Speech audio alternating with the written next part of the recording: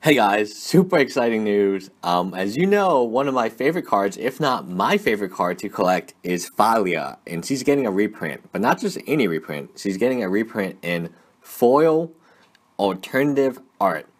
I believe you get these for winning some type of local event. It's not like particularly difficult to win that event.